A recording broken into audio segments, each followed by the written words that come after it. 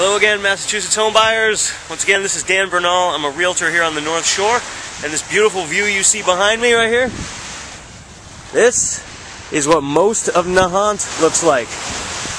Nahant is a tiny little peninsula that juts off the uh, the coast right by Lynn and Swampscott, two very disparate uh, economic areas, but the same coastline.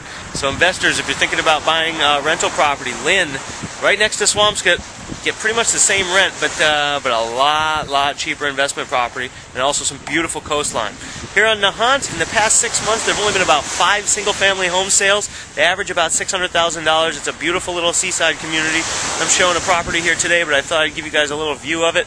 Uh, it's not exactly the most convenient place to get in and out of with only one roadway, but let me tell you, if you want to live next to this, that's pretty much what it looks like most of Nahant. Anyway, thanks again. See you next time.